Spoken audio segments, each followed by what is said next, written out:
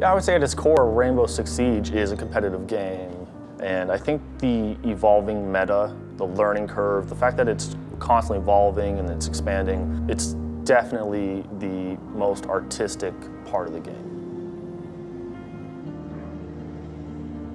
I'm Brandon Carr. I'm more commonly known as BC. I'm a former professional Siege player and I'm now coaching for Dark Esports in Texas. I started playing professionally right when the Pro League was announced. My main team, the big team that I played for initially, was Evil Geniuses.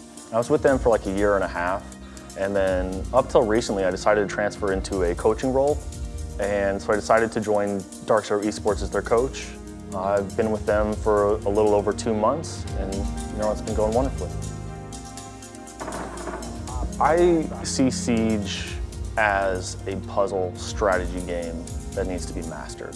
So I focus every day on strategizing and how to beat an opponent head to head. It's kind of like a chess match.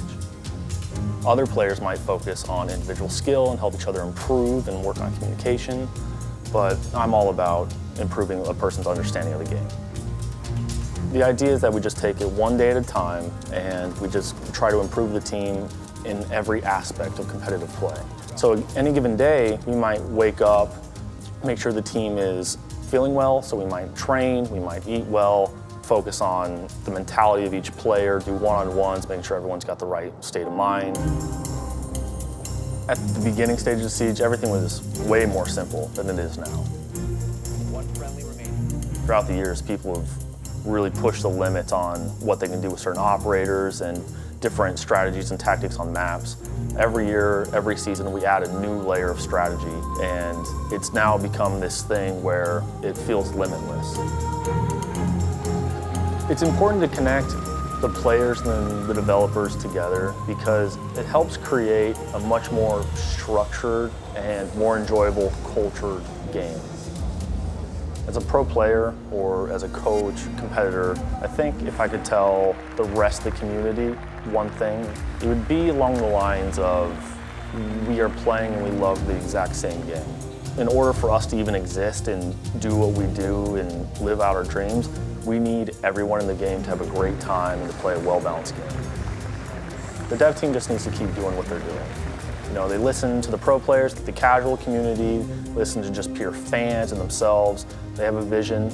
We want to see it through. It's their game. They should be extremely proud because we're proud to play and we love the game. The Six Invitational is the pinnacle of Siege, and not just in esports. Even though it is a major for Pro League, I mean, it is a Siege event.